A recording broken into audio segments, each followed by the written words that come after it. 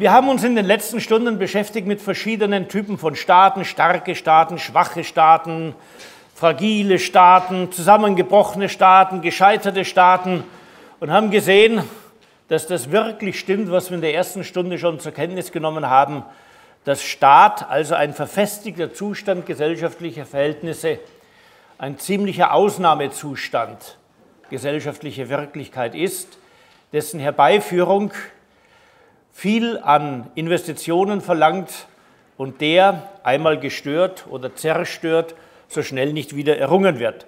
Welche Folgerungen sind aus diesen Einsichten zu ziehen, dass ein inzwischen durchaus nennenswerter Teil der Erde von scheiternden oder schon gescheiterten Staaten bedeckt ist und dass die Vorstellung wahrscheinlich nicht stimmt, dass in absehbarer Zeit überall funktionierende Staatlichkeit, sogar demokratischer Art, bestehen wird.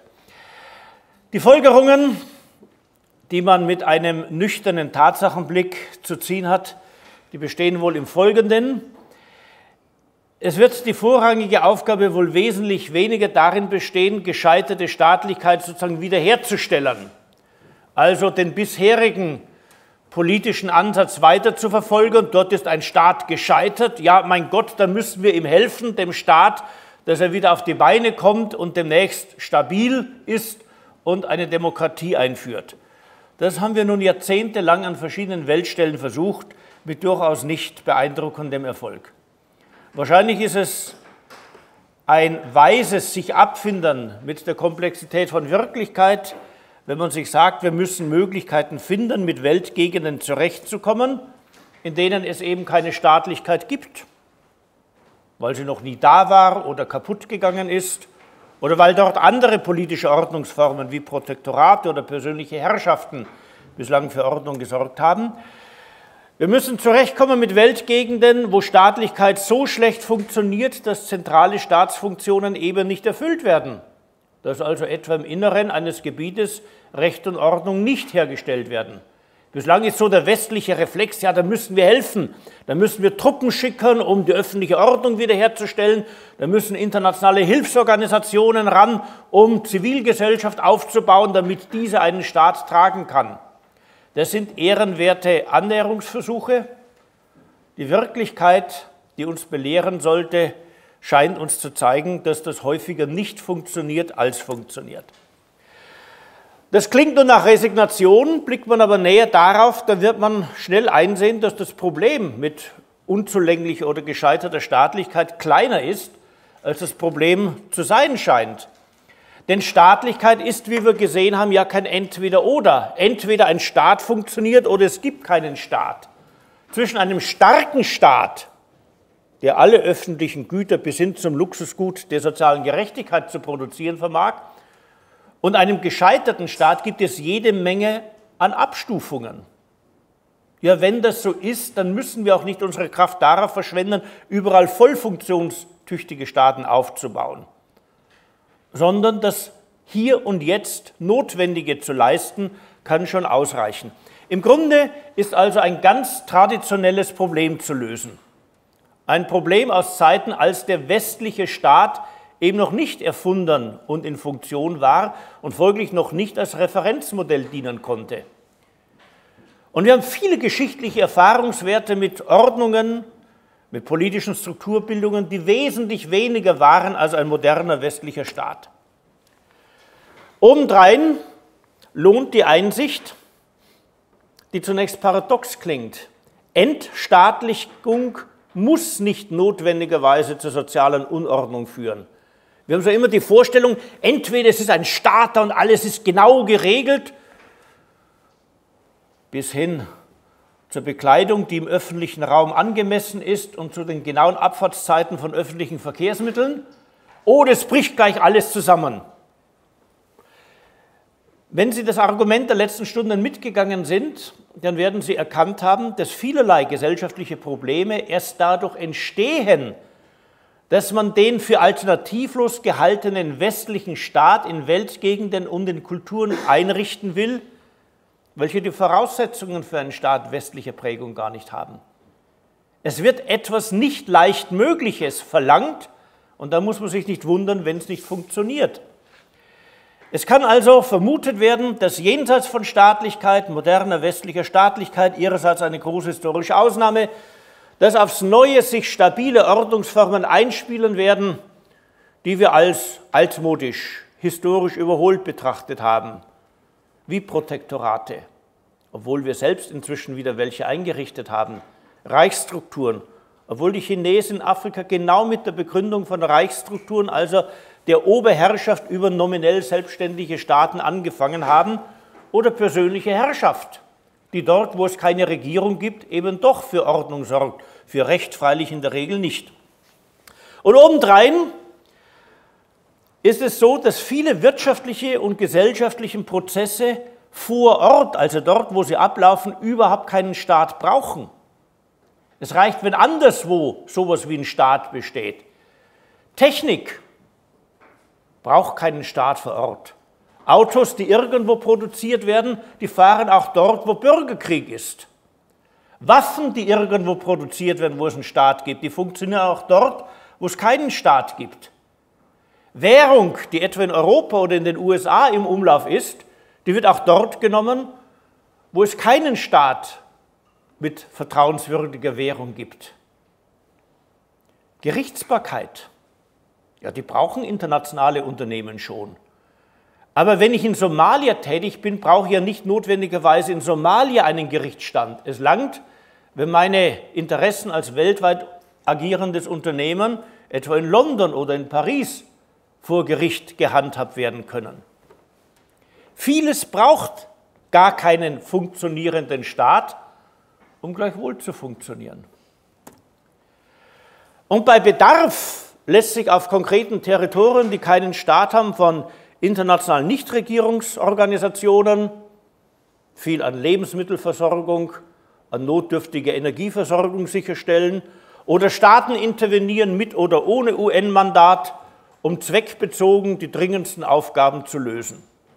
Sie intervenieren in staatsfreien Regionen oder eben auch nicht, je nachdem, wie die Kosten-Nutzen-Verhältnisse angesichts drängender Notwendigkeiten zu sein scheinen. Wenn man diese Folgerungen sich vor Augen führt, merkt man, dass man aufwachen muss. Aufwachen muss aus dem so lange, so gern geträumten westlichen Traum. Irgendwie gemäß dem Sinn der Geschichte entwickelt sich überall ein Staat. Nach dem Zusammenbruch des Ostblocks kommt das Ende der Geschichte der Gestalt, dass sich der westliche liberale Staat alternativ und konkurrenzlos überall auf der Welt durchsetzt. Wenn man die letzten Terroristennester ausgeräuchert hat, dann ist die Welt endlich reif für Demokratie. Das war so ein Traum der 90er Jahre. Von diesem Traum wird es Zeit aufzuwachen. Es ist freilich kein wirklich schönes Erwachen, weil die Welt wesentlich hässlicher ist, als wir sie uns zurechtgeträumt haben. Und außerdem ist völlig unklar, wie weit und wie gut die Reise mit poststaatlichen Strukturen gehen wird. Es ist das eine zu sagen, na ja, der Staat ist ein historisch bedingtes Auslaufmodell, das auf der europäischen Vorherrschaft über die Welt beruhte. Und nach dem Ende der europäischen Vorherrschaft über die Welt kommen eben nicht europäische Ordnungsformen auf. Die gab es vor dem europäischen Aufstieg zur Weltmacht. Und warum sollen wir glauben, dass mit Europas weltbeherrschender Stellung die Geschichte wirklich ihr Ende nimmt. So kann man reden und das ist keine falsche Rede, aber damit ist nicht impliziert, dass es gut weitergeht. Es kann unschön weitergehen. Ich würde schon vermuten, dass man so als das Weströmische Reich unter germanischen Einwanderungsdruck geraten war. Als nämlich im Oströmischen Reich man die anbrandenden Gotenheere auf das Westreich umlenkte und dann die Ostgoten sich daran machten, Italien zu erobern und dort ihre Herrschaft aufzurichten, da werden viele Römer gesagt haben, ja mein Gott, die alten Strukturen waren eh nicht mehr bestandsfähig. Diokletian, Gott hab ihn selig, machte noch einen großen Aufschlag mit Reichsreform, aber so viel hat das nicht gebracht. Es wird schon irgendwie weitergehen. Und immerhin dort, wo wir leben, ist noch alles ziemlich in Ordnung. Und in Gallien wird so mancher, und das wissen wir nun freilich aus manchen Quellen, noch im 6. Jahrhundert so gedacht haben. Gleichwohl kamen ziemlich barbarische Zeiten. die mit den friedlichen und kulturvollen Zeiten des spätrömischen Reiches nicht mehr so furchtbar viel zu tun hatten. Zeiten, aus denen freilich jener Kontinent entstand, zu dem wir uns ständig bekennen, wir, die wir Europäer sein wollen und uns freuen, dass wir pro-europäisch sind. Ja, dieses Europa entsteht genau aus den dunklen Jahrhunderten nach der germanischen Eroberung des Weströmischen Reiches. Geschichte geht weiter. Das heißt nicht, dass sie gut weitergeht oder gleich gut weitergeht, aber so weit sollten wir unseren Blick spannen, dass wir nicht die jeweilige Gegenwart für die Grenzen des Möglichen halten. Damit haben wir unseren Durchgang durch Staatlichkeit und ihre Ausprägungsformen hinter uns gebracht. Gibt es dazu noch etwas nachzufragen? Wenn das nicht der Fall ist, schauen wir auf die Staatsformen, die es gibt und werden hier in vielen Bereichen Wissen, das längst bestehen sollte, noch einmal wiederholend uns vor Augen führen. Und jetzt beschränken wir uns weitestgehend auf zeitgenössische Staatsformen und unterlassen jenen Blick in die Geschichte, der die letzten Wochen für uns so wichtig war. Wir schauen auf eine Typologie funktionstüchtiger politischer Systeme, wobei wir weitgehend auf dem aufbauen, was aus dem Basismodul bekannt ist. Dann schauen wir an, welchen systematischen Stellenwert marginale Staatlichkeit, randständige Staatlichkeit im Gefüge heutiger politischer Systeme hat. Und dann blicken wir auf einige Pathologien politischer Systeme. Zur Typologie funktionstüchtiger politischer Systeme gehen wir vom komplexeren zum einfacheren. Das ist eine Typologie, die Wolfgang Merkel mit äh, nennenswertem Erfolg aufgestellt hat. Sie sehen, dass im Grunde auf genau das Gleiche hinausläuft, was wir hier vereinfacht die ganze Zeit uns vor Augen führen. Drei Systemtypen werden unterschieden, Demokratien, autoritäre Regime und totalitäre Regime. Und die Unterscheidungsdimensionen, die hier verwendet werden, sind sechs. Wie erklärt man dass die Herrschaft, die besteht, zu Recht ausgeübt wird, ja, über das Demokratieprinzip in Demokratien, über die Pflege überkommener Mentalitäten. Es ist doch gut, dass wir so gute Könige, so gute Pharaonen oder sonst etwas in unserem Land haben. Lasst uns bei diesen bewährten Dingen festhalten. Mentalitätspflege als in autoritären Regimen und geschlossene Weltanschauung, die erklären, warum das jetzige Regime weltgeschichtlich notwendig ist, in totalitären Regimen unterschiedlichster Prägung.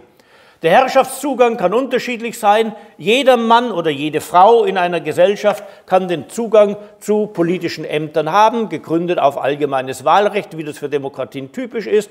Der Zugang zu politischen Machtpositionen kann eingeschränkt sein, wie es typisch für autoritäre Regime ist, die festlegen, wer denn sinnvollerweise zu denen gehören kann, die Macht ausüben, Feinde ganz gewiss nicht. Und bei totalitären Systemen braucht es dann eben auch Leute, die sich in den Dienst der Idee des Staates stellen wollen, als gute Nationalsozialisten, als gute Kommunisten, als gute Muslime oder als sonst etwas. Wer darf regieren? In Demokratien sind es jene politischen Institutionen, die demokratisch legitimiert sind, direkt wie die Parlamente, indirekt wie die Regierungen. In autoritären Regimen sind es eben jene Führer, die sich eben bewährt haben und die im Weg der Kooptation andere in ihren Kreis aufnehmen oder aufnehmen lassen. Und dann legitimieren die sich dadurch, dass sie sagen, dies und jenes haben wir geleistet, wo stand unser Land vor 20 Jahren, dank der tatkräftigen Führung von diesem oder jenem großen populären Präsidenten stehen wir jetzt, wo wir stehen. Im Notfall kann man mit Repression nachhelfen, wie in so manchen südamerikanischen Staaten üblich. Und in totalitären Regimen haben natürlich jene das Recht zu regieren, die das Richtige tun. Die wissen, was der Sinn der Geschichte ist oder der Wille Gottes ist oder die einfach wissen, dass der Führer, der an der Spitze steht, einfach Recht hat. Der Führer erkennt das Recht und setzt es durch. Was muss man dann darüber noch streiten? Wie schaut die Herrschaftsstruktur aus?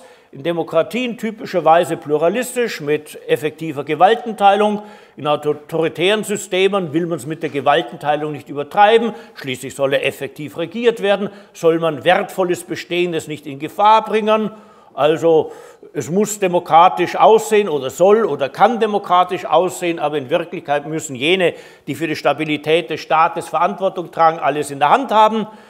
Ja, und in totalitären Regimen ist es klar, jene müssen die Macht ausüben können, die das Richtige tun.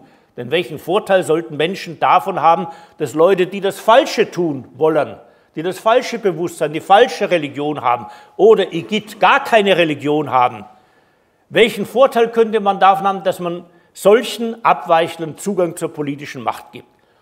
Herrschaftsansprüche in Demokratien typischerweise begrenzt, im liberalen demokratischen Staat begrenzt auf die Erfüllung grundlegender Staatsfunktionen, Recht und Ordnung, Sicherheit, Schutz nach außen. Wenn man das Ganze sozialstaatlich ausgestaltet, ist der staatliche Herrschaftsanspruch natürlich wesentlich ausgedehnter.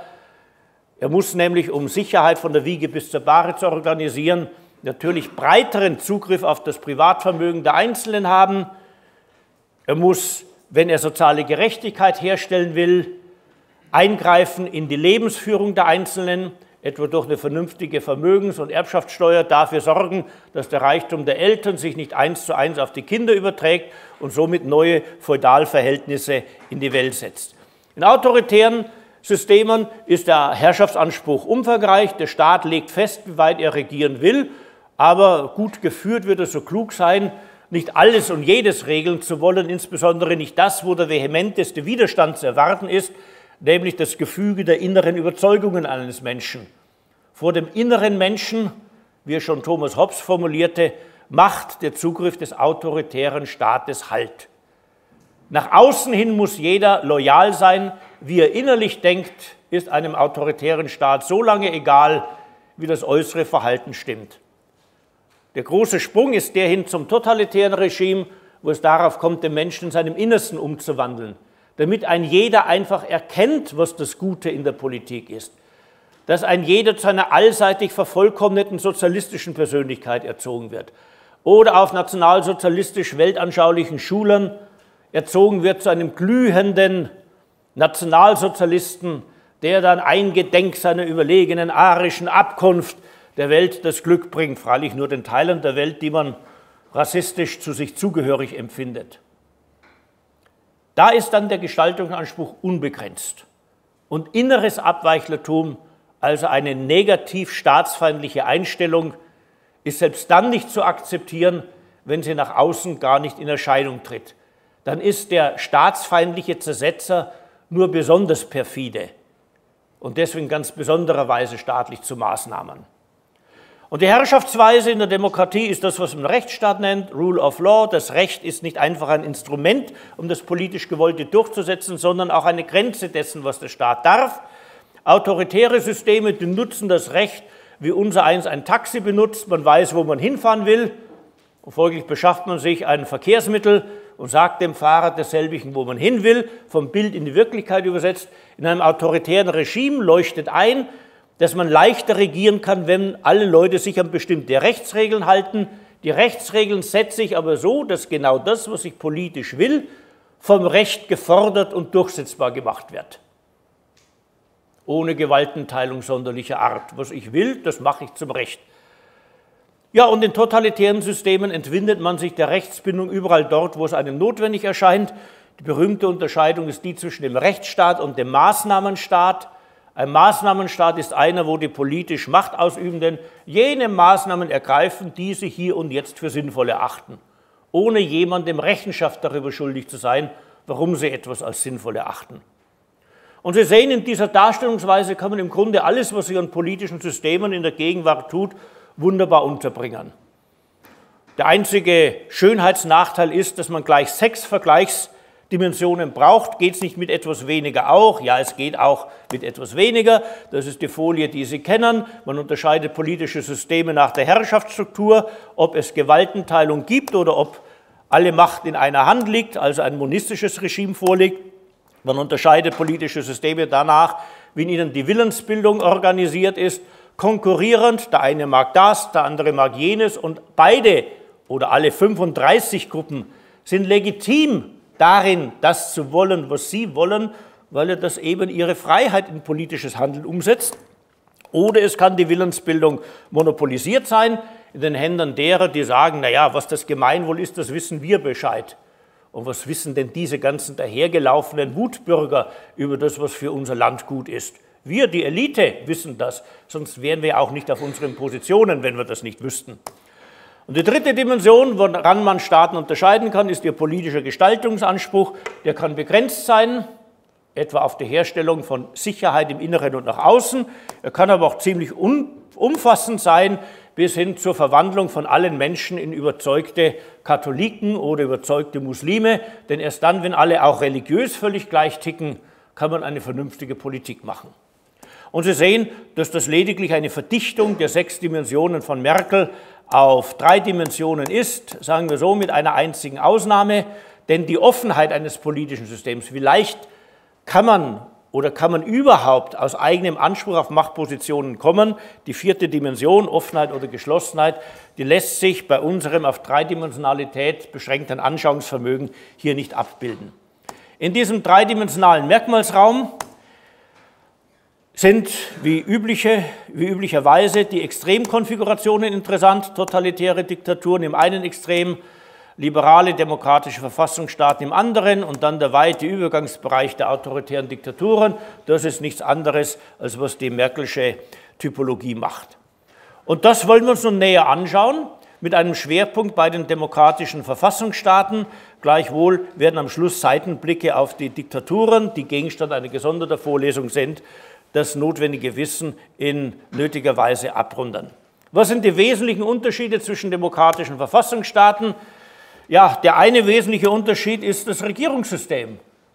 Regierungssysteme können präsidentiell sein, das heißt, die Bevölkerung wählt einerseits den Präsidenten als Inhaber der Exekutivmacht und wählt andernteils eine Volksvertretung.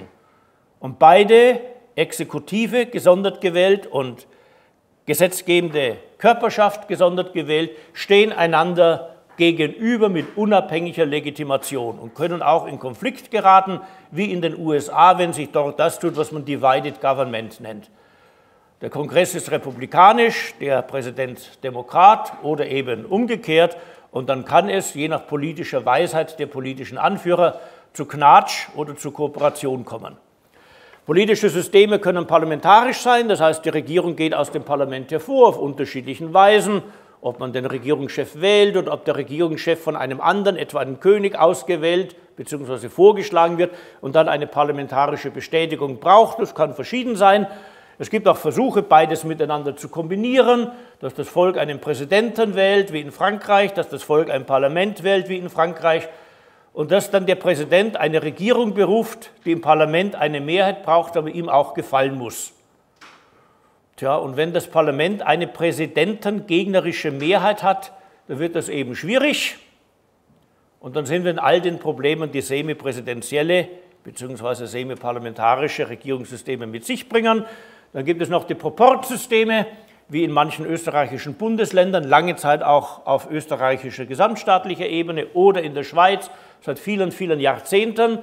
Die funktionieren nach der Vorstellung, dass alle politischen Kräfte, die im Parlament vertreten sind, auch Teilhabe an der Regierungsmacht haben sollen, sodass alle im Parlament vertretenen Parteien mehr oder minder proportional auch in der Regierung sitzen müssen.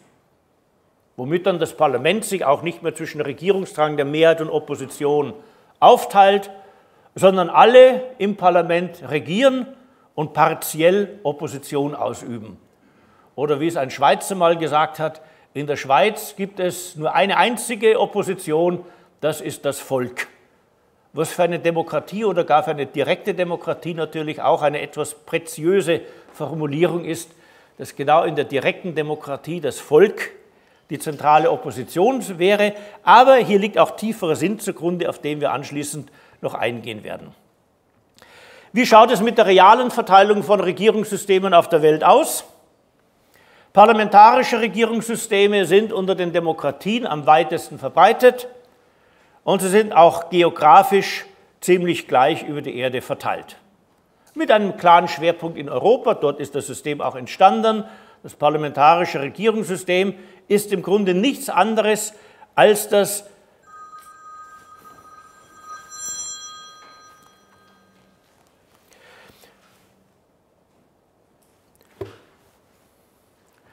Das parlamentarische Regierungssystem ist im Grunde nichts anderes als der Durchbruch von Demokratie in politischen Systemen, die von Fürsten regiert wurden.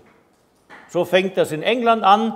Der König wird nicht durch eine Revolution aus dem Amt gebracht, denn die englische Revolution samt Bürgerkrieg war eine vergleichsweise kurze Episode.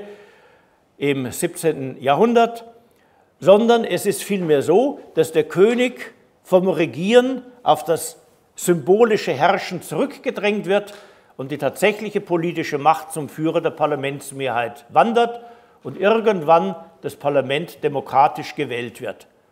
Das ist der Leitgedanke von parlamentarischen Regierungssystemen, die deswegen mit Monarchien wunderbar kompatibel sind. Es kann einem demokratisch geführten Ministerpräsidenten völlig egal sein, wer unter ihm König ist oder neben ihm König ist, weil der König eben keine reale Entscheidungsmacht mehr hat. Semipräsidentielle Regierungssysteme konzentrieren sich auf West- und Osteuropa. Die Franzosen haben sich eines in der Fünften Republik zugelegt und in den nachsozialistischen osteuropäischen Staaten versuchten viele Leute mit großer Schlichtheit des analytischen Gemüts sozusagen die besten Elemente westlicher Regierungssysteme bei sich aufzubauen, wie es die Deutschen in der Weimarer Republik auch versucht haben. Und dann entstehen eben Systeme mit einer nicht runden Funktionslogik, wo eben die Regierung sowohl vom Staatsoberhaupt wie vom Parlament abhängig wird und es keinen Mechanismus gibt, die Mehrheit des Staatsoberhauptes mit der Mehrheit des Parlaments irgendwie systematisch in Übereinklang zu bringen. Präsidentielle Regierungssysteme dominieren auf dem amerikanischen Kontinent, zumal in Südamerika. Warum in Südamerika? Ja, Nordamerika besteht aus Kanada, wo es eine englische Kolonie gewesen ist und folglich das englische System übernommen hat. Aus den USA. In den USA entstand das präsidentielle Regierungssystem im Grunde als die republikanische Form der konstitutionellen Monarchie. Als die Amerikaner ihre Verfassung machen, ist im Mutterland England ungefähr ein Gleichstand zwischen der Macht der Krone und der Macht des Parlaments erreicht, sozusagen perfekte Gewaltenteilung. Das wollten die Amerikaner bei sich auch haben, der Freiheit willen. Und nachdem man ja schlecht einen Erbmonarchen einführen konnte und das auch gar nicht wollte, musste halt der Staatsoberhaupt einen anderen Titel als König bekommen, nämlich Präsident. Und ein Präsident muss nun mal gewählt werden. Wobei am Anfang George Washington noch, wenn ich es recht im Kopf habe, in einer königsähnlichen Kutsche sechsspännig vorfuhr. Das hat sich dann später in der Weise demokratisiert, dass auch die amerikanischen Präsidenten mit dem Auto fahren, freilich mit sehr besonderen Autos, wie man der Presse unschwer entnehmen kann. Und in Südamerika hat man das nordamerikanische System kopiert eines Teils, weil die südamerikanischen Systeme ohnehin monarchisch regiert waren, mit europäischen Königen, dem spanischen König, dem portugiesischen König und Vizekönig im eigenen Land, denen mehr und mehr Vertretungskörperschaften gegenüberstanden, sodass die Übernahme des amerikanischen Modells irgendwie naturwüchsig wirkte. Wie schaut es aus mit der Stabilität von Regierungen in verschiedenen politischen Systemen? In präsidentiellen Regierungssystemen hängt die Stabilität der Regierung von der Stabilität des Präsidenten ab, weil die Regierung nicht aus dem Parlament hervorgeht. Da ist das übliche Muster, dass das Präsidenten, die wirkungsvoll regieren, immer mehr Macht amassieren tja, und am Schluss präsidentielle Regierungssysteme in autoritäre Diktaturen verwandeln, von denen man dann schlecht wieder herunterkommt, wie derzeit das Beispiel von Venezuela auf das Schönste zeigt. In parlamentarischen oder semiparlamentarischen Regierungssystemen ist die Sache anders. Dort geht die Regierung aus dem Parlament hervor, braucht dort eine Mehrheit und je nachdem, wie das Volk mit dem Wahlrecht umgeht und was es für ein Wahlrecht hat, entstehen eben Parlamente, die eine stabile Regierung tragen oder eben nicht tragen können. Die wesentlichen Befunde wollen wir uns anschließend ansehen. Regierungsstabilität kann man wie alles auf der Welt messen anhand von Indikatoren. Der in der vergleichenden Systemanalyse übliche äh, Indikator ist die Dauer, in der eine Regierung im Amt sich befindet, hier definiert als eine Regierung in der gleichen Parteienkombination. Scheidet eine Partei aus der Regierung aus, entsteht bei dieser Messweise eine neue Regierung. Kommt eine Partei neu hinzu, entsteht eine neue Regierung. Wählt das Volk überhaupt eine neue Regierungsmehrheit, kommt es natürlich auch zu einer neuen Regierung. Und diese Regierungsdauern, so definiert, kann man natürlich präzis auf Tage, auf Wochen, auf Monate hin festlegen, sodass man dann so feinkörnig wie man nur will messen kann. Der Befund für die westlichen Staaten mit konsolidierten Demokratien, die ich Ihnen auf einigen Karten ja gezeigt habe, wo die sich befinden, insbesondere in Westeuropa bzw.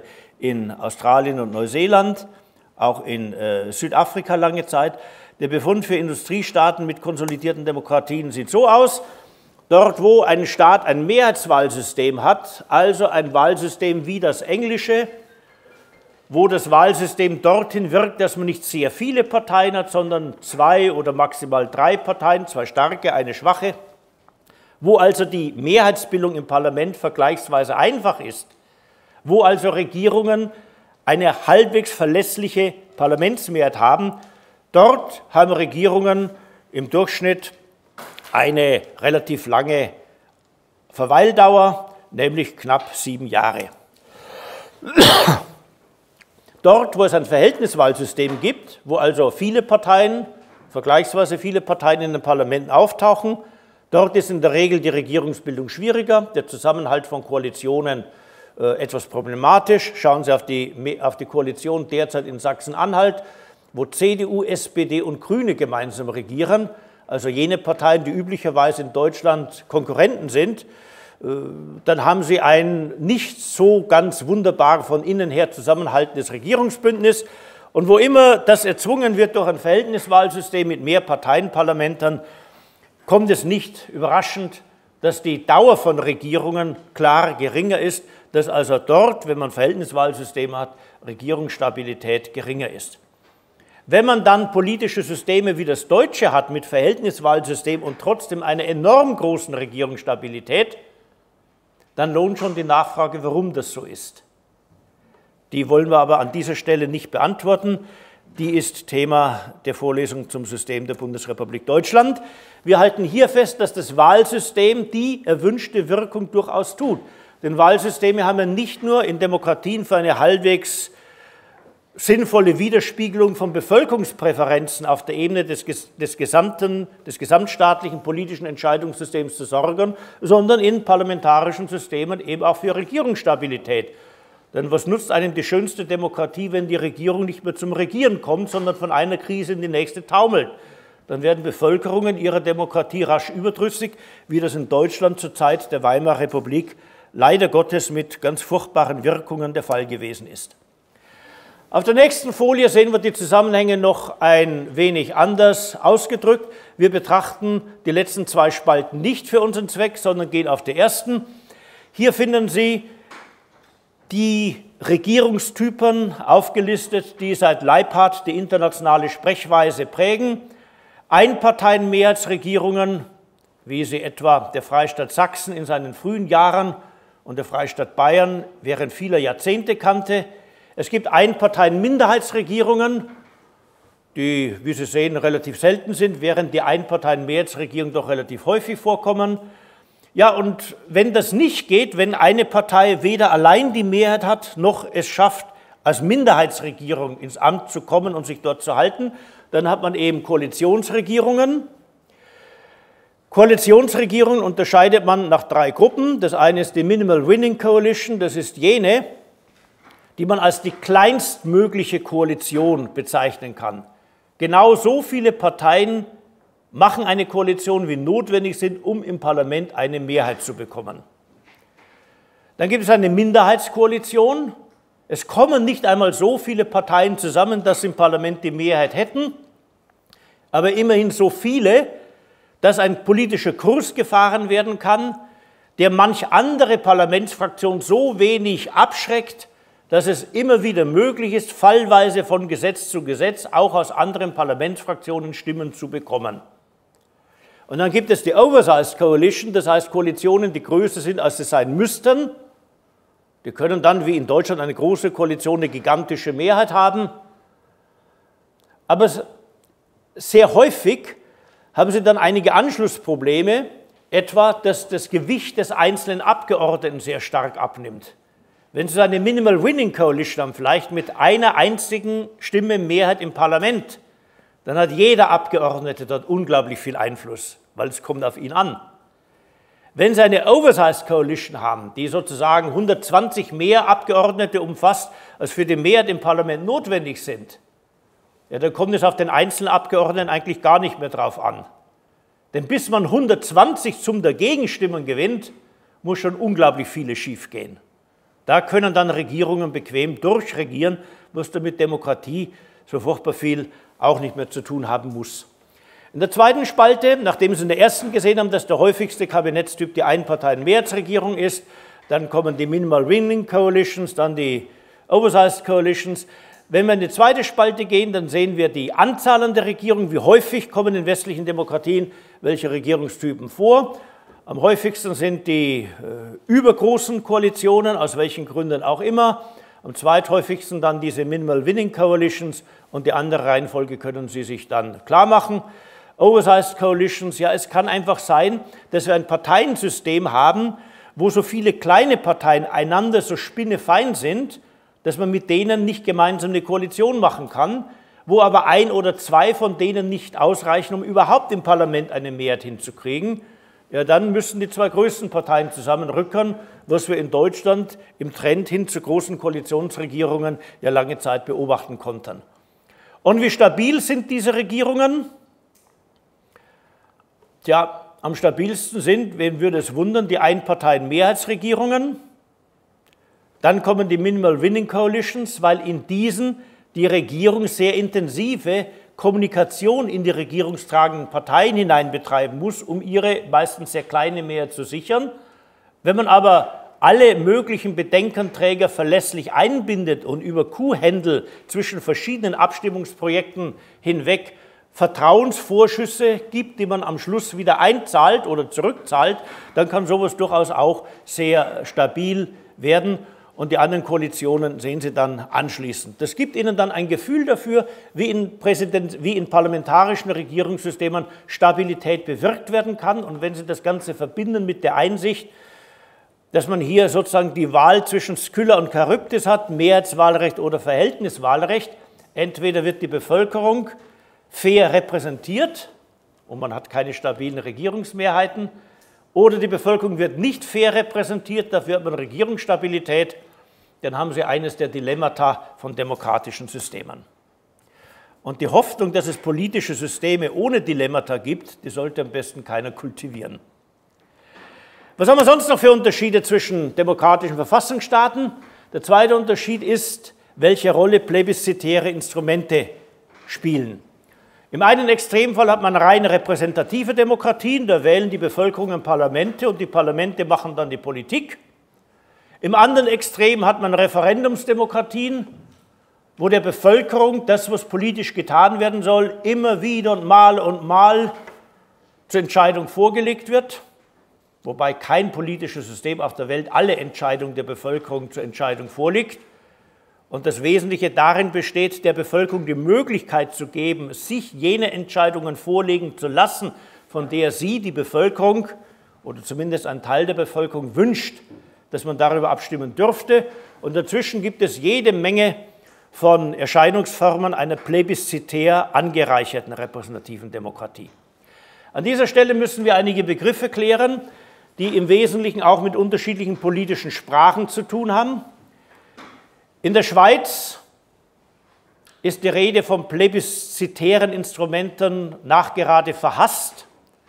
Denn Plebiszite, das sind für die Schweizer Volksabstimmungen, die unvernünftig sind, wo man das Volk über Dinge entscheiden lässt, die am besten von anderen zunächst mal entschieden werden.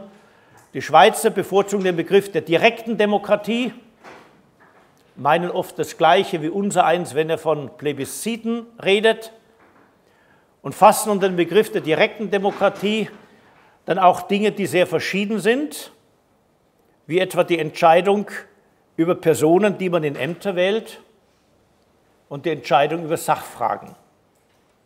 Weil in der Schweiz, etwa auf den zwei Landsgemeinden, die es noch gibt, in Glarus und Appenzell, zunächst der Landammann bestellt wird und die Richter bestellt werden in direkter Volksabstimmung, wo man die Hand hebt und dafür oder dagegen ist und anschließend werden Sachfragen, etwa die Finanzierung von Krankenhäusern und so weiter, beschlossen. Das heißt, hier verwende ich eine spezifische Sprache, die in der Schweiz ganz anders verwendet würde. Man muss einfach wissen, worum es geht. Und das zweite Begriffspaar, das wir brauchen, neben direkter Demokratie und plebiszitärer Demokratie, das zweite Begriffspaar ist das Begriffspaar von Referendum und Initiative. Eine Initiative ist ein Abstimmungsvorgang, der von der Bevölkerung ausgeht. Die Bevölkerung möchte, dass etwas zum Gesetz wird. Man macht eine Gesetzgebungsinitiative unter verschiedenen Namen. Volksinitiative heißt es in manchen deutschen Bundesländern oder Bürgerantrag oder wie auch immer. Oder die Bevölkerung begehrt eine Volksabstimmung mit der Frage, ob ein bestimmtes Gesetz, welches das Parlament verabschiedet hat, in Kraft treten soll oder nicht in Kraft treten soll. Das ist ein Instrument, das es in Deutschland nur sehr verschwurbelt in Baden-Württemberg und in Hamburg gibt und das derzeit von einer Parlamentsfraktion in Thüringen dort in die Landesverfassung aufgenommen, aufzunehmen begehrt wird. Warten wir ab, was daraus wird. Also Initiativen gehen von der Bevölkerung aus, Referenden gehen von den Staatsorganen aus. Die Staatsorgane, die Regierung, eine Parlamentsmehrheit oder die Verfassung selbst legt fest, dass eine Frage der Bevölkerung, um das Wort Volk zu vermeiden, zur Entscheidung vorgelegt wird. Wobei die Referenden sich danach unterscheiden, ob es sich um obligatorische Referenden handelt, also um Sachfragen, die der Bevölkerung vorgelegt werden müssen, wie in manchen deutschen Bundesländern Verfassungsänderungen, oder ob es sich um fakultative Referenden handelt, das heißt um Dinge, die der Bevölkerung vorgelegt werden können, aber nicht müssen. Initiative und Referendum sind zweierlei. Und plebiszitäre Demokratie und direkte Demokratie sind zwei unterschiedlich konnotierte Beschreibungsweisen der gleichen Sache. Dass nämlich Demokratie nicht nur durch Repräsentation, sondern eben durch unmittelbare Eingriffsmöglichkeiten der Bevölkerung verwirklicht werden kann. Das vorausgeschickt blicken wir nun näher auf plebiszitäre Instrumente mit dem Versuch, sich klarzumachen, welche plebiszitären Instrumente einer Demokratie gut tun und welche nicht. Die Faustregel lautet, alle plebiszitären Instrumente, die von der politischen Klasse ergriffen werden können, sind schlecht, also alle, die von oben nach unten wirken, wohingegen plebiszitäre Instrumente, die von der Bevölkerung, von einem Teil der Bevölkerung ergriffen werden können, also von unten nach oben wirken, gut sind. Das kann auch intuitiv einleuchten. Bei der Demokratie geht es darum, dass die da oben auf das hören, was wir da unten wollen. Spätestens nach Wahltagen müssen sie das tun. Da muss man sich aus den Regierungsämtern trollen, wenn man die Wahl verloren hat. Und wir finden das für ganz normal. Die Frage lautet nur, soll es zwischen den Wahlterminen auch die Möglichkeit geben, dass die Bevölkerung die Regierenden dazu veranlassen kann, Positionen zu verlassen, die sie bislang bezogen haben. Also, dass jene Instrumente gut sind, die von unten nach oben wirken, das leuchtet ein, weil genau das die Funktionsweise, die ordnungsgemäße Funktionsweise von Demokratie ist. Achtung, es geht nicht darum, repräsentative Demokratie durch plebiszitäre Demokratie zu ersetzen. Denn repräsentative Demokratie hat einen großen Mehrwert. Der Mehrwert besteht darin, dass es Leute gibt, die sich hauptamtlich ums Politikmachen kümmern können, die von sonstigen Lebenstätigkeiten freigestellt sind, damit sie sich politischen Fragen und politischen Problemen vollzeitig widmen können. Also Sachkunde, Problemkenntnis, Problemlösungsmöglichkeiten, Entdeckungen machen können, zu denen ein Normalbürger, weil er eben was anderes zu tun hat, nicht gelangen kann.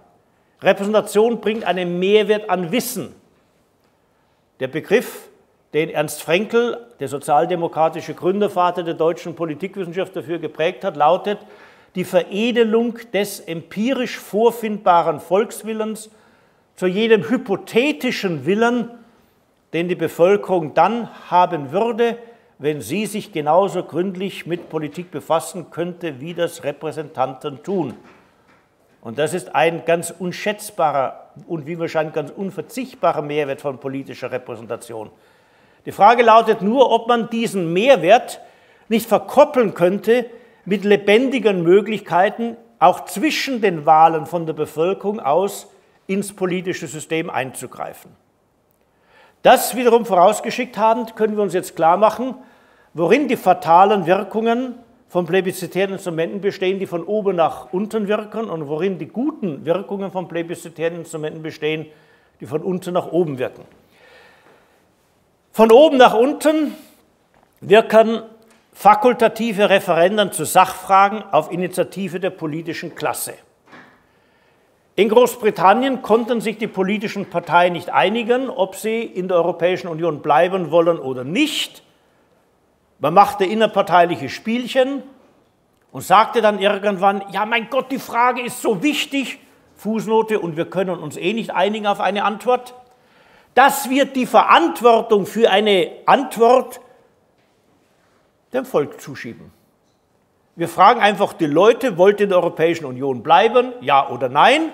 Und wenn sie sagen ja, schön, wenn sie sagen nein, auch schön. Und so haben das die Briten gespielt.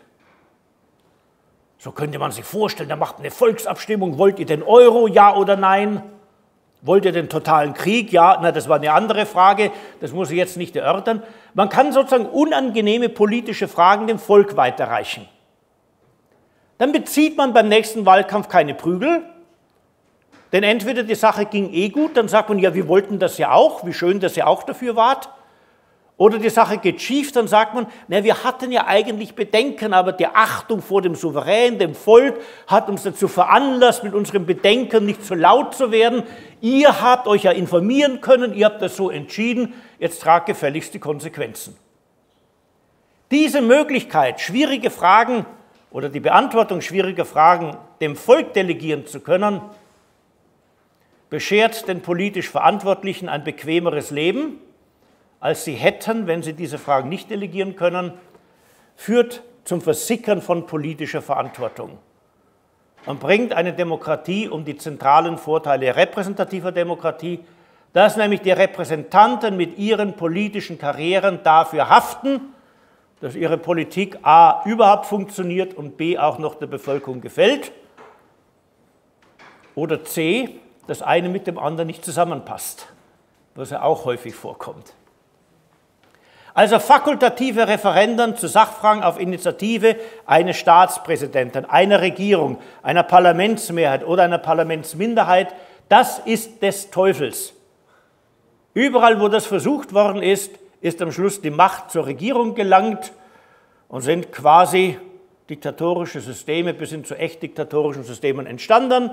Schlimmstes aller Beispiele, ein Staatspräsident, der gerne im Amt bleibt, weil er sich da gut bereichern kann, stellt dem Volk die Sachfrage, soll die Präsidentschaft auf Lebenszeit eingeführt werden, ja oder nein?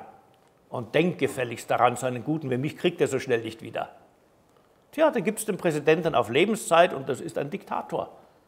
In Afrika mehrfach genauso zustande gekommen. Von unten nach oben wirkend sind andere Instrumente, nämlich die Volksgesetzgebung, die wir in allen deutschen Bundesländern haben. Ein Teil der Bevölkerung kann Unterschriften dafür sammeln, mit denen begehrt wird, dass das Parlament ein bestimmtes Gesetz gibt. Oder kann einen eigenen Gesetzentwurf einer Volksabstimmung unterziehen, mit Einzelregelungen, die ich jetzt nicht beschreiben kann.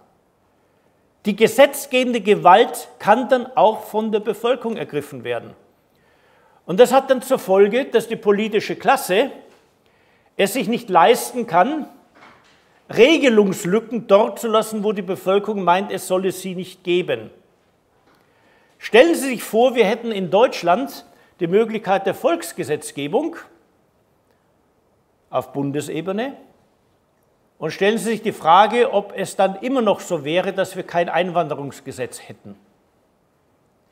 Hätten dann nicht vielleicht vor so 10, 15, 20 Jahren die Grünen eine Unterschriftensammlung gemacht, um den Bundesgesetzgeber dazu anzutreiben, ein Einwanderungsgesetz zu formulieren?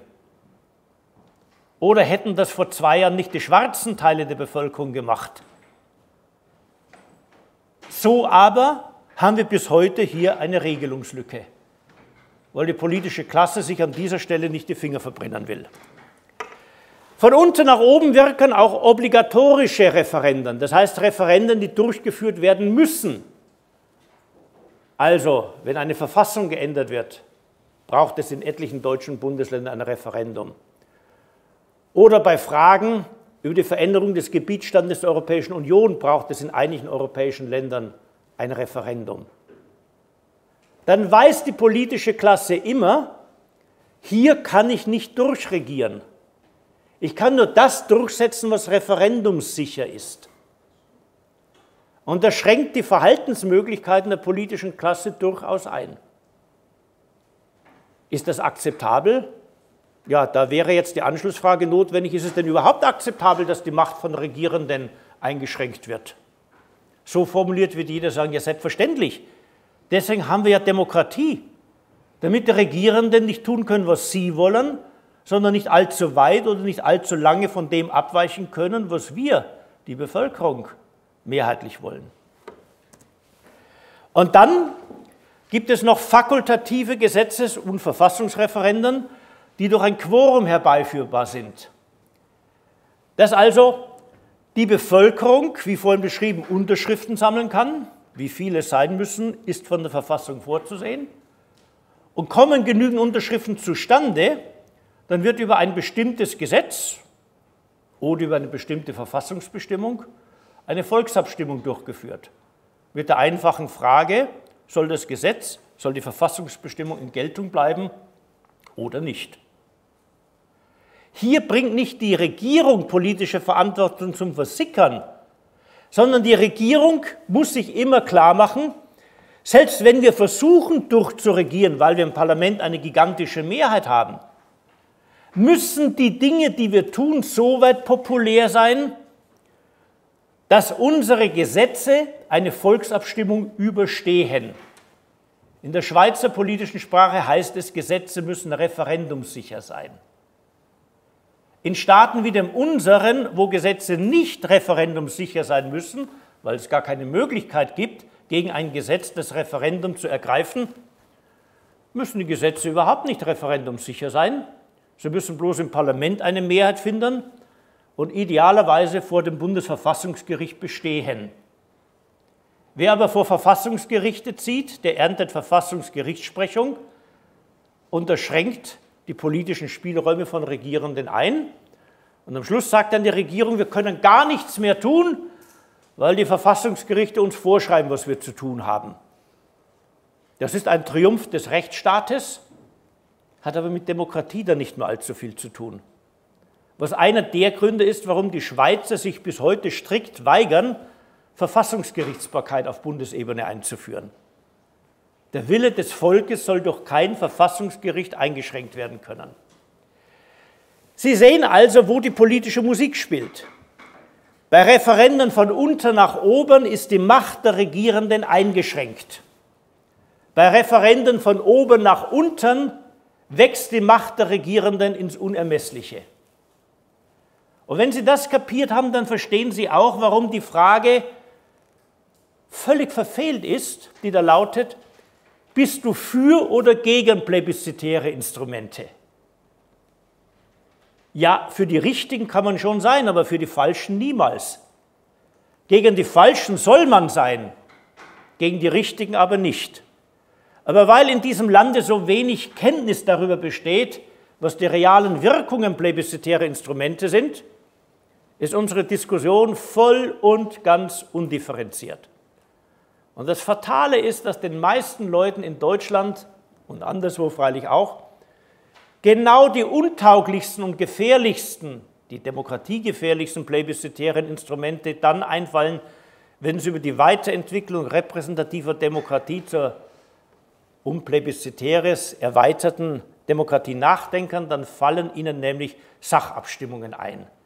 Warum soll das Volk nicht darüber bestimmen, ob wir eine Bundeswehr brauchen oder nicht und wie stark die Bundeswehr sein soll und ob die Bundeswehr in Mali eingesetzt werden soll, ob wir Russland mit Sanktionen überziehen oder nicht.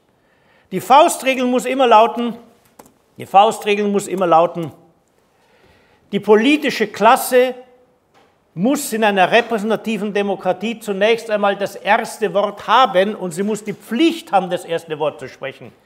Die Regierung muss sagen, ob sie für Sanktionen gegen den Staat X oder gegen Sanktionen ist. Aber anschließend muss das Volk, Entschuldigung, die Bevölkerung, die Möglichkeit haben, der Regierung zu sagen, nein, wir sehen das anders. Und ihr, die Regierung, seid die von uns Beauftragten. Und wir sind nicht eure Jubelbürger, die immer Beifall zu klatschen haben, wenn ihr etwas tut. Das ist die richtige Einrichtungsweise einer Demokratie. In manchen Demokratien ist das Verfassungssystem auch so ausgestattet, aber das sind die allerwenigsten. Sie hatten eine Frage.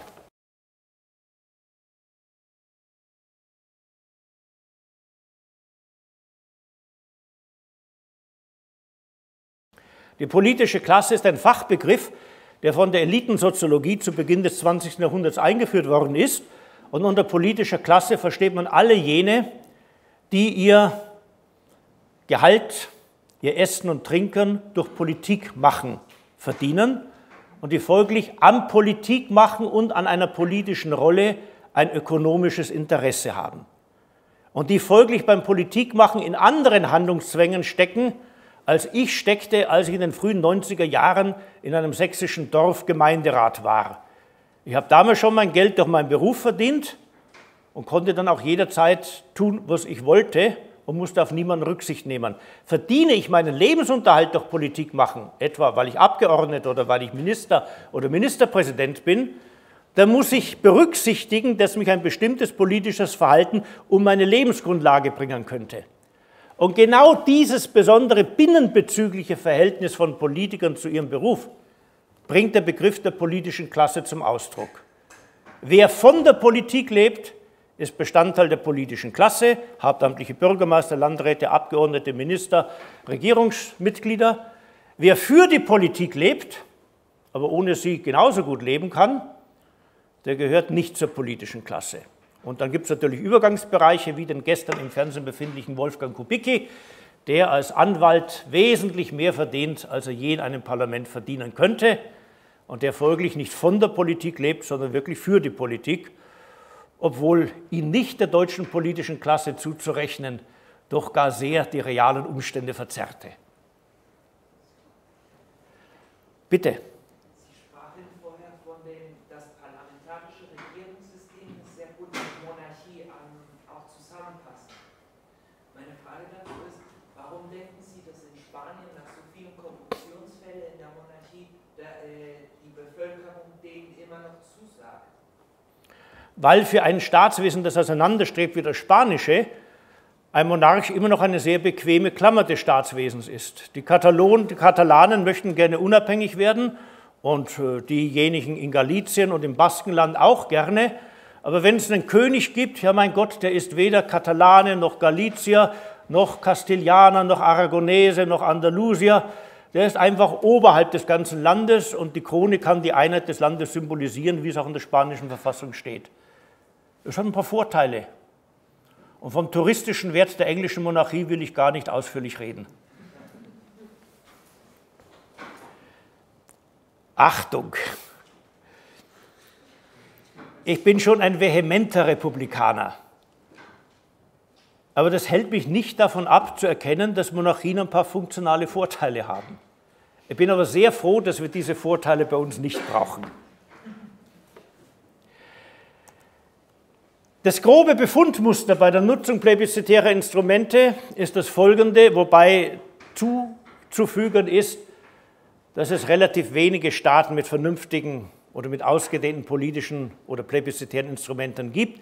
Schlecht ausgestattet ist unter anderem Kalifornien, wo das plebiszitäre Gewerbe die Staatsfinanzen sehr stark ruiniert hat. Sehr gut ausgestattet ist die Schweiz. Und in der Schweiz kann man nicht erkennen, dass ständige Volksabstimmungen dem Populismus Vorschub leisteten. Die meisten Entscheidungen sind grundvernünftig. Es ist auch nicht so, als ob die Schweizer sich vom Staat immer mehr Geld genehmigen würden und den Staat überforderten, denn die Schweizer dürfen im Unterschied zu den Deutschen über staatliches Geld selbst entscheiden, über Steuersätze, über Kredite, die die einzelnen staatlichen Ebenen aufnehmen und das Befundmuster ist, die Schweiz haben für ausgeglichene Haushalte gesorgt, weil sie wissen, sie müssen alles, was sie sich leisten, auch bezahlen. Die Zufriedenheit mit dem politischen System ist dort größer, weil das Argument völlig abwegig ist, der Einzelne hätte keinen Einfluss auf Politik. hat er in seinem Kanton auf gesamtstaatlicher Ebene im Weg des Milizparlamentarismus. Es ist auch die Identifikation mit dem politischen System größer. Und wenn jemand in seinem Leben pro Jahr fünf, sechs, sieben Mal zur Abstimmung geht und dabei immer drei, vier, fünf verschiedene Sachen zu entscheiden hat und, wie es in der Schweiz üblich ist und überall so sein sollte, dann immer ein Abstimmungsbüchlein hat, wo nach Vereinbarung von Gegnern und Befürwortern von Ja oder Nein der Sachverhalt und die Argumente dafür oder dagegen säuberlich aufgelistet werden, sodass man über konkrete Politik, auch über finanziell wichtige Politik zu Hause reden kann. Und das im Jahr mehrfach. Und dass das die Kinder schon mitbekommen, dass die Eltern echt über Politik reden. Dann hat das eine erzieherische Wirkung, die in Staaten wie den unseren niemals erreicht wird wo man ein Jahr den Landtag wählt, übernächstes Jahr vielleicht den Bundestag, irgendwann Kommunalparlamente und wo nie eine Kontinuität im Ernst genommen sein als auch über Finanzfragen abstimmungsberechtigter Bürger entsteht. Ich rate also jedem, sehr intensiv darüber nachzudenken, auf welche Weise konkrete Demokratien konkrete repräsentative Demokratien, eine der besten Formen politischer Systeme, die es gibt, durch sinnvolle plebiszitäre Instrumente weiterentwickelt werden können. Fußnote ironischer Art. In früheren Zeiten war es die Linke, die plebiszitäre Instrumente forderte und die Konservativen haben plebiszitäre Instrumente gefürchtet wie der Teufel das Weihwasser. Jetzt, wo Rechte endlich mal was Sinnvolles erfunden haben oder gefunden haben, nämlich die Verbesserung repräsentativer Demokratie durch sinnvolle Volksabstimmungen. Es geht die Linke auf Distanz und wärmt die ganzen alten konservativen Argumente gegen mehr Volksrechte auf. Einerseits kann man dann ironisch werden und andernteils freilich auch zynisch. Offenbar kam es manchen Leuten nur darauf an, ihre politischen Positionen in wahrgenommenen gesellschaftlichen Mehrheitsverhältnissen durchzusetzen, nicht aber darauf, Demokratie institutionell weiterzuentwickeln, deren Institutionengefüge ja gut oder schlecht ganz unabhängig davon ist, ob ich hier und jetzt und in den nächsten fünf Jahren meine Interessen durchsetzen kann oder nicht. Wenn Sie allein diese Diskussion mit nach Hause nehmen und bedenken, dann hat die heutige Vorlesungsstunde schon einen wesentlichen Zweck erfüllt. Wir sind aber noch nicht zu Ende. Wir machen noch ein ganz klein wenig Begriffskunde. Die Schweizer schätzt den Begriff der direkten Demokratie. In Deutschland meine ich aber schon sagen zu müssen, dass dieser Begriff zwei sehr verschiedene Sachen miteinander vermengt. Die Direktwahl von möglichst vielen Amtsträgern, etwa die Direktwahl des Staatsoberhauptes und damit die Festlegung des Typs des Regierungssystems mit der Entscheidung über Sachfragen, also der Einführung von plebiszitären Instrumenten. Manche Leute sagen, wir wollen in Deutschland mehr direkte Demokratie, deswegen wollen wir den Bundespräsidenten vom Volk wählen lassen und dann muss er natürlich auch mehr Kompetenzen haben. Die kommen gar nicht auf die Idee, dass das jetzt keine Frage von mehr direkter Demokratie ist, sondern die Frage nach dem Systemtyp, den sie in Deutschland haben wollten und ob man sich an die Stelle gut eines gut funktionierenden parlamentarischen Regierungssystems ein in der Regel nicht gut funktionierendes präsidentielles Regierungssystem setzen sollte. Beide Begriffe werden miteinander, beide Sachen werden miteinander vermengt und ab und zu meinen Leute auch noch, dass repräsentative Demokratie ein Übel sei, das man ohnehin durch ständige Volksabstimmungen ersetzen müsste. Dass man also das simuliert, was in der politischen Theorie Identitätsdemokratie heißt, das heißt der Abbau der Unterschiede zwischen Regierenden und Regierten was Rousseau schon vorschwebte. Das alles sind sehr unterschiedliche Dinge und ich glaube, die sollte man nicht unter einem Begriff ziehen. Schweizer werde ich zwar von diesem Roten Kreuz niemals überzeugen können, aber in Deutschland, glaube ich, täte man gut, wenn man hier präziser dächte oder wenn man schon den Begriff der direkten Demokratie verwendet, das immer tut im Bewusstsein, dass man von zwei völlig verschiedenen Sachen redet. Systemtyp oder Anreicherung repräsentativer Demokratie durch plebiszitäre Instrumente. Im Übrigen haben wir in Deutschland ein besseres Begriffspaar. Wir könnten reden von der personalunmittelbaren Demokratie, wo wir Bürgermeister, Landräte und so weiter wählen, und von sachunmittelbarer Demokratie, wo wir Sachentscheidungen treffen. Machen wir noch eine Begriffserklärung, denn in der Alltagssprache und hoffentlich bei Ihnen künftig nicht mehr gehen zwei weitere Begriffe ineinander über. Demokratie kann sich, so fängt das Argument an, entfalten als repräsentative Demokratie mit all den Vorzügen einer Weiterentwicklung des empirisch vorfindbaren Volkswillens zu jenem hypothetischen Volkswillen, den die Leute hätten, wenn sie sich genauso vernünftig mit Politik befassen könnten und wollten, wie das viele Politiker tun. Und diese repräsentative Demokratie, die nennt man dann häufig nach dem zentralen Repräsentationsorgan, welches immer das Parlament ist, eine parlamentarische Demokratie. Tja, und da spricht nichts dagegen. Demokratie kann sich auch entfalten als eine plebiszitäre Demokratie, als eine Referendumsdemokratie im Extremfall oder mit entsprechenden Anreicherungen dazwischen. Demokratie kann sich auch entfalten als identitäre Demokratie. In Kleingruppen kein Problem. In einem Freundeskreis, sagen wir mal von bis zu zwölf Leuten, kann man einfach im Gespräch miteinander entscheiden, in welche Kneipe gehen wir, wo fahren wir im Urlaub gemeinsam hin. Da braucht es keine Regierenden. Aber wenn die Gruppe auf 120 anschwillt, wird schon etwas schwieriger. Und wenn 1200 oder 12 Millionen Leute zum gemeinsamen Handeln zu befähigen sind, da geht es nicht mehr mit Identitätsdemokratie. Es ist eine Frage einfach der Größe der Gruppe, die da zu interagieren hat. Und repräsentative Demokratie wiederum kann sich entfalten, einerseits als präsidentielles Regierungssystem, wie vorhin beschrieben, oder sie kann sich entfalten als parlamentarisches Regierungssystem. Leider Gottes verwenden manche Leute aber statt des Begriffs parlamentarisches Regierungssystem den Begriff parlamentarische Demokratie, so als ob ein präsidentielles Regierungssystem keine parlamentarische Demokratie wäre, als ob der amerikanische Kongress ein an seiner Macht ganz unbeträchtliches Parlament wäre. Und sie reden dort von präsidialer Demokratie, wo der richtige, klare Begriff der des präsidentiellen Regierungssystems wäre.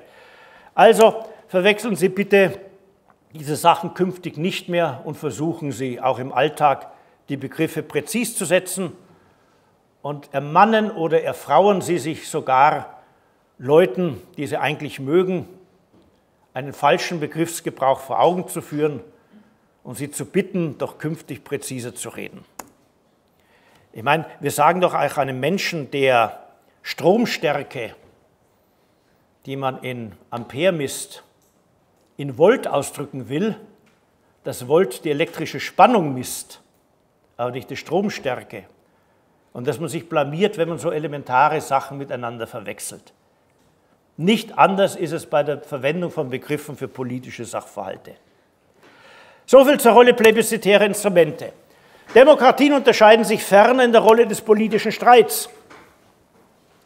Am einen Ende haben wir das, was sich nennt Konkurrenzdemokratie, wo es völlig klar ist, es ist ganz legitim, unterschiedliche politische Positionen zu haben, als Parteien, als Verbände, als Zivilgesellschaft. Und Demokratie funktioniert so wie die Bundesliga. Mannschaften mit unterschiedlichen Interessen und unterschiedlicher Qualität und unterschiedlichen Stärken treffen aufeinander von Spieltag zu Spieltag und am Schluss wird abgerechnet. Es gibt die Vorstellung, dass das zu gefährlich ist, dass man sich dann zerstreitet und dass man es auf so viel Streit nicht ankommen lassen soll. Das ist nicht unweise. In Gesellschaften, die keinen breiten gemeinsamen Konsens haben, führt politischer Streit leicht in Bürgerkrieg. Das wird besonders anschaulich, wenn ich Ihnen knapp vor Augen führe, aus welchen zwei Wurzeln Konkordanzdemokratie historisch entstanden ist. Wurzel Nummer eins, in Deutschland entsteht unser Verlangen nach Konkordanz, alle an einen Tisch und wir reden miteinander, wir streben nach Konsens und nach Kompromissen, die es erlauben, jedem zu dem, was wir tun wollen, Ja zu sagen. Also wir setzen auf Eintracht. In Deutschland entsteht dieses System nach dem Dreißigjährigen Krieg. Als das katholische und das evangelische Deutschland, gelagert um die Frage, wie viele Rechte der Kaiser im Vergleich zu den Fürsten Deutschlands haben sollte, als die sich unter Einmischung auswärtiger Mächte einen sehr blutigen und Deutschland ruinierenden Krieg geliefert hatten. Am Schluss sahen alle Streitparteien ein, auf Sieg auszugehen, bringt uns nur noch tiefer ins Elend. Es ist besser, sich zusammenzusetzen. Und so wird mit den Friedensverträgen von Münster und Osnabrück ein Regelwerk entwickelt, bei dem man Streit wo immer möglich vermied. Wenn sich im Reichstag die katholischen und die evangelischen Fürsten oder Städte auf etwas nicht einigen konnten, dann beschlossen sie die sogenannte Itio in partes. Die Protestanten und die Katholiken machten jeweils ihr eigenes Ding und schauten, wie sie dann von ihren eigenen Dingen aus, womöglich dort, wo es wichtig wäre, Türkenkriege und so weiter, doch zu etwas Gemeinsamen kämen. Und wo kommt die Schweizer Konkordanzdemokratie her? Jene Schweizer Konkordanzdemokratie, wo es eine Zauberformel gibt, nachdem alle politischen Parteien, die im Bundesparlament sind, auch in der Regierung sitzen, sodass es völlig egal ist, was die Schweizer wählen. Die Regierung sieht immer gleich aus. Wo kommt dieses uns merkwürdig anmutende System her? Naja, es kommt aus dem letzten Schweizer Bürgerkrieg. Das ist der Sonderbundskrieg im letzten Viertel des 19. Jahrhunderts, im letzten Drittel des 19. Jahrhunderts, nachdem die Schweizer sich eine neue Bundesverfassung gaben und in ihr Volksabstimmungen verankerten. Das Volk kann Verfassungsänderungen beschließen.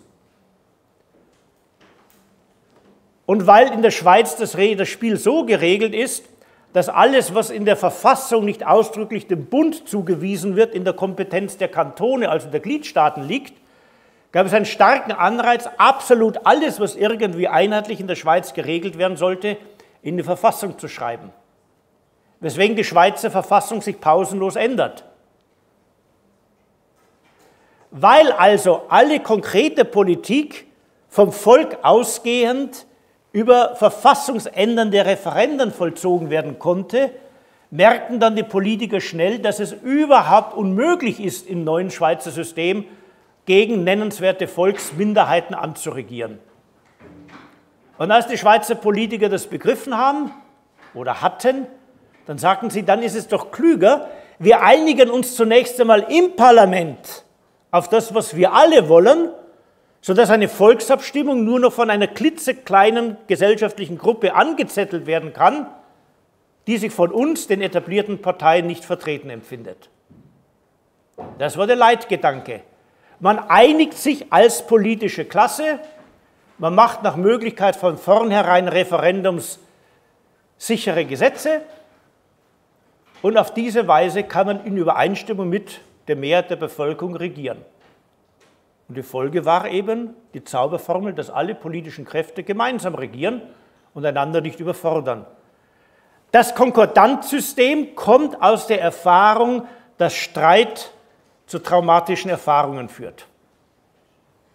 Das muss man nun nicht überall einführen. Die Briten sind todglücklich, nicht todglücklich, sie sind glücklich mit ihrem Konkurrenzsystem. Es hängt von der jeweiligen nationalen politischen Kultur ab. Wenn sie in der Politik sozusagen Sportsgeist haben, wie beim Boxkampf. Wir gehen mit Fäusten aufeinander los und schlagen auch heftig zu und versuchen, dass der andere K.O. geht, aber nicht, weil wir den Gegner hassen, sondern weil wir gewinnen wollen. Im Idealfall umarmen sich die Boxgegner nach dem Kampf und haben Respekt voreinander. Wenn Sie in einer solchen Haltung in politischen Streit gehen, ja, dann können Sie wesentlich mehr Streit zulassen, als wenn Sie dem anderen schon allein deswegen böse sind, weil er etwas ein wenig anders sieht als Sie was in Deutschland inzwischen zur Mode geworden ist. Wer nicht vollständig mit mir übereinstimmt, der steht wahrscheinlich schon gar nicht mehr mit beiden Beinen auf der freiheitlich-demokratischen Grundordnung, die allein ich exklusiv und richtig und alternativlos auslege. Ja, dann wird es problematisch. Ich hoffe, ich habe klar gemacht, was wünschenswert wäre. So viel Sportsgeist, damit man sich heftigen Streit leisten kann. Denn Konkordantsysteme führen insbesondere dann zum Stagnieren des politischen Prozesses, wenn es keine vernünftigen Volksrechte, also plebiszitären Instrumente gibt. Wenn die politische Klasse eines Teils Streit vermeidet unter sich und möglichst viele Insidergeschäfte macht, aber umsichtig die Bevölkerung davon abhält, punktuell auf politische Entscheidungen Zugriff zu erlangen, dann läuft das wichtigen Leitgedanken von Demokratie zuwider nämlich dass die Regierenden stets in der Furcht des Herrn leben sollen und der Herr in einer Demokratie ist das Volk oder präzis gesagt die Bevölkerung, die schon so lange im Land leben, denn dass sie die Bürgerrechte haben. Bitte.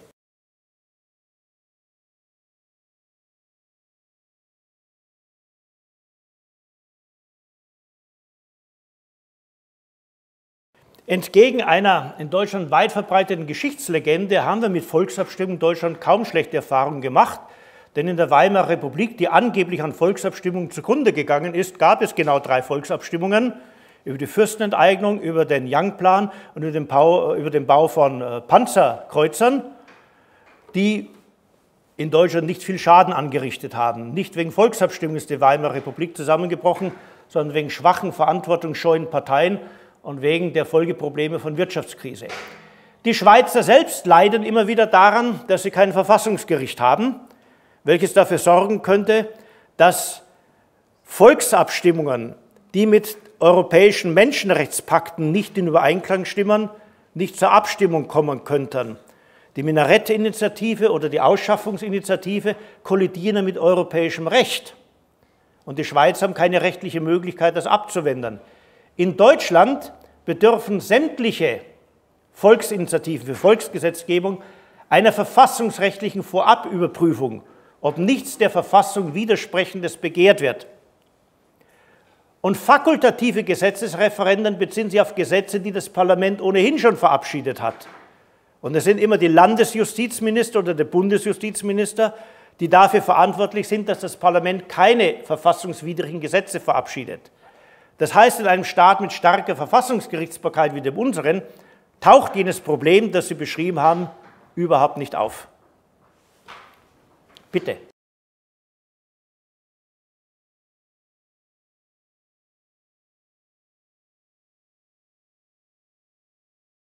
In Deutschland ist es Mode geworden, jemandem, der den Begriff Volk verwendet, völkisches Denkern, Faschismus und Rassismus zuzuschreiben und weil man sich dagegen vor Menschen, die das böswillig tun, mit vernünftigen Argumenten nicht wehren kann, verfalle ich hier immer meinen Ironiemodus und ersetze den Begriff des Volkes systematisch durch den der Bevölkerung. Und wenn der Koschen dann noch nicht gefallen ist, durch den Begriff der schon länger im Lande Lebenden, wobei ich das auch gerne tun darf, denn die des Rassismus völlig unverdächtige Bundeskanzlerin hat er den Begriff des Volkes auch durch den der schon länger im Lande Lebenden ersetzt. Folglich bin ich voll und ganz in Übereinstimmung mit unserer Bundeskanzlerin.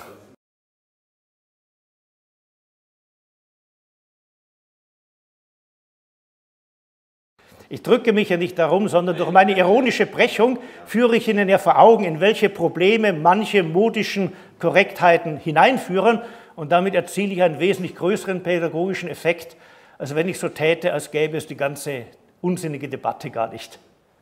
Und Ihre Frage, für die ich sehr dankbar bin, ist der beste Beweis dafür, dass mein pädagogisches Kalkül aufgegangen ist. So, worin unterscheiden sich Demokratie noch? Sie unterscheiden sich natürlich in der Rolle von Föderalismus, besteht als ein Einheitsstaat, wie Frankreich nach der Revolution mit seiner Departementsgliederung, wo der Leitgedanke der war, dieses Frankreich in lauter kleine Verwaltungsbezirke aufzudröseln, in denen ein staatlicher Beauftragter, der Präfekt sitzt und so war nämlich die Größe der Departements bemessen mit dem dortigen Verkehrsmittel Nummer eins, nämlich dem Pferd, jeden, jedes Eck des Departements binnen eines Tages zu erreichen. So etwas ist ein Einheitsstaat. Einen Einheitsstaat, wo die zentrale Regierung sich überall durchsetzt, kann man dezentralisieren. Das ist das, was die Franzosen in den 80er Jahren machten mit der Regionalisierung. Das ist das, was die Briten machten mit der sogenannten Devolution als die Teilgliedschaften des Vereinigten Königreichs, Wales und Schottland wieder eigene Parlamente bekamen und eigene Kompetenzen. Dann kann es weitergehen zu einem Bundesstaat wie der Bundesrepublik Deutschland oder der Bundesrepublik Österreich, wo zwar die Gliedstaaten verfassungsrechtlich staateneigenen Rechte sind, aber einem Bund eingegangen sind, aus dem sie nicht mehr heraus dürfen. Und am anderen Ende steht der Staatenbund, wo Staaten sich unter Beibehaltung ihrer Souveränität einfach aneinander binden, um gemeinsam bestimmte Projekte zu verwirklichen, wie eine gemeinsame Wirtschaftsunion zu bilden oder gemeinsames Militär zu haben. Und zwischen Bundesstaaten und Staatenbündern hat das Bundesverfassungsgericht in seiner begriffsprägenden Kraft einen weiteren Begriff eingeführt, das ist der Begriff des Staatenverbundes. Ein Staatenverbund, als welchen das Bundesverfassungsgericht die Europäische Union bezeichnet, ist mehr als ein Staatenbund, aber weniger als ein Bundesstaat. Und hier können Sie die Staaten, die modernen Staaten eingliedern und es liegt auf der Hand, dass erst moderne Verkehrs- und Kommunikationsmöglichkeiten überhaupt die Errichtung von Einheitsstaaten ermöglicht haben, zumindest von solchen Einheitsstaaten, die die Größe eines Stadtstaates mit umliegenden Territorium überschreiten. Solche föderalen Systeme man ganz unterschiedlich institutionell ausgestalten. Das eine sind die Zuständigkeitsverteilungen bei der Politik des Gesamtstaates, bei der Gesetzgebung. Wenn Sie auf die Europäische Union blicken, dann sehen Sie all die Probleme. Die Finanzbeziehungen kann man unterschiedlich ausgestalten. Steht in einem Extremfall alles Geld den Gliedstaaten zu, die dann durch Beiträge den Gesamtstaat finanzieren, wie es im Deutschen Kaiserreich der Fall gewesen ist. Oder steht alles Geld zunächst einmal dem Gesamtstaat zu, der dann den Gliedstaaten oder den regionalen Entitäten Gelder weiterreicht. Außerdem kann man die Mitwirkung der Gliedstaaten an der Politik des Gesamtstaates unterschiedlich regeln. Es kann sein, dass man die Regierungen der Mitgliedstaaten an der Politik des Gesamtstaates beteiligt. Das ist der Fall in Deutschland, das ist der Fall in der Europäischen Union.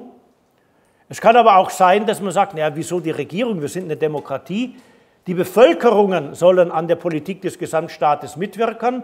Das heißt, die Bevölkerung wählt Vertreter in ein föderales gesamtstaatliches Organ.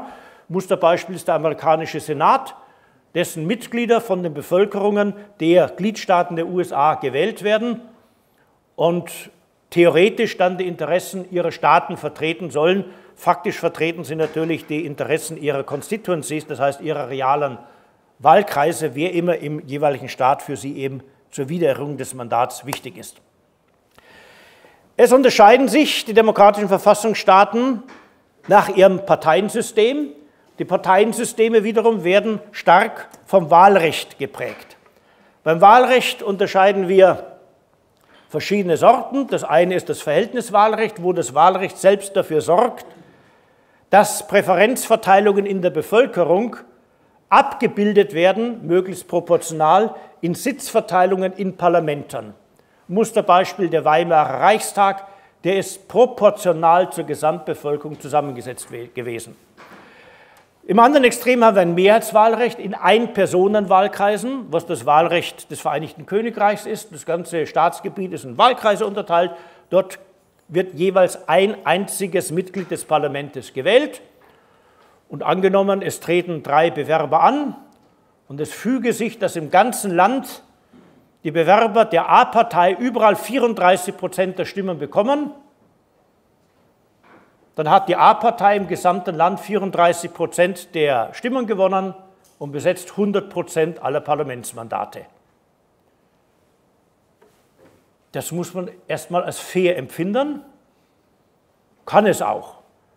Für Deutsche, die ans Verhältniswahlrecht gewöhnt sind, äh, wirkt das irgendwie abwegig für Briten, wenn es so käme, auch, aber dass es große Verzerrungen zwischen den Stimmenverteilungen und den Mandatsverteilungen gibt, das halten die für ganz normal. Und dann gibt es noch verschiedene Mischformen zwischen beiden Wahlrechten. Und weil das nicht unwichtig ist, zeige ich Ihnen noch einige Möglichkeiten, wie man das Wahlrecht ausgestalten kann. Mehrheitswahl ist das eine Extrem, Verhältniswahl ist das andere Extrem. Und das kann man dann irgendwie miteinander kombinieren. Und das macht man anhand der Personalisierungskompetenz der Wählerinnen fest. Das heißt, wie viel Einfluss hat die Wählerschaft daraus, darauf, wer genau nun im Parlament sitzt? Muss sich die Wählerschaft die Zusammensetzung des Parlaments personell vorschreiben lassen? Das ist immer dort so, wo es reine Listen gibt, starre Listen, wie in Israel, wie in den Niederlanden. Dort haben Abgeordnete auch keinen Anreiz und auch gar keinen guten Grund, Wahlkreisarbeit zu betreiben. Denn was ist für mich, der ich auf einer Parteiliste gewählt werde, die niemand verändern kann, der Anreiz, Wahlkreisarbeit zu machen?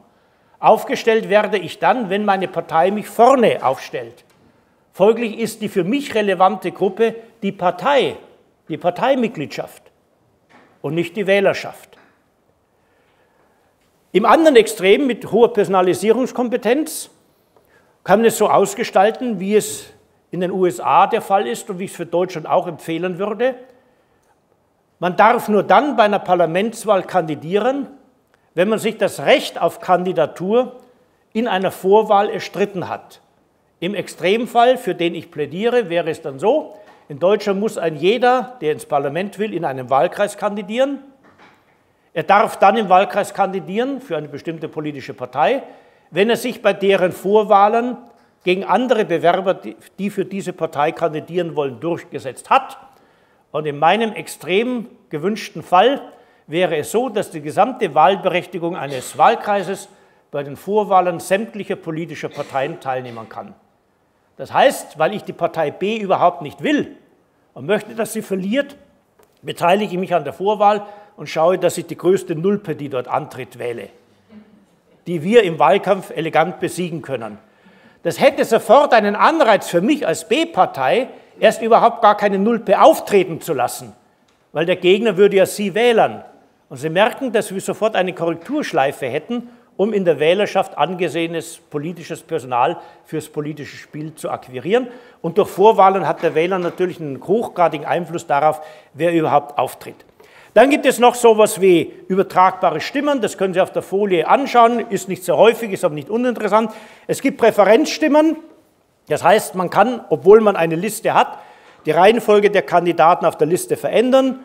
Bayern kennen das aus dem bayerischen Landtagswahlrecht, Sachsen kennen das aus dem Kommunalwahlrecht. Da können Sie häufeln oder quer durch die einzelnen Parteilisten Ihre Stimmen auf einzelne Kandidaten verteilen und können Reihenfolgen verändern.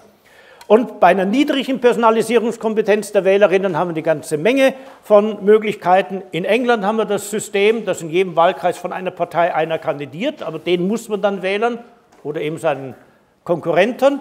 Man kann Verhältniswahlsysteme mit Ausgleichsmandaten machen, wie wir es inzwischen in vielen deutschen Ländern und auf Bundesebene auch noch eingeführt haben. Oder man kann die Verhältniswahl personalisieren, wie wir es gemacht haben dass wir das Wahlgebiet in Ein-Personen-Wahlkreise unterteilen, aber nur die Hälfte der Abgeordneten dort wählen und die andere Hälfte über freilich starre Parteilisten. Hier gibt es also jede Menge von Schrauben, an denen man drehen kann, um eine bestehende Demokratie bestmöglich so auszugestalten, dass einesteils Wählerpräferenzen ziemlich direkt, ziemlich klar in parlamentarische Mehrheiten abgebildet werden und dass zugleich idealerweise aus dem Parlament auch starke und stabile Regierungen hervorgehen. Einiges wäre noch über politische Parteiensysteme zu sagen und darüber, wie man sie durch Maßzahlen vergleichbar macht. Darüber mehr in der nächsten Stunde. Alles Gute bis zur nächsten Woche.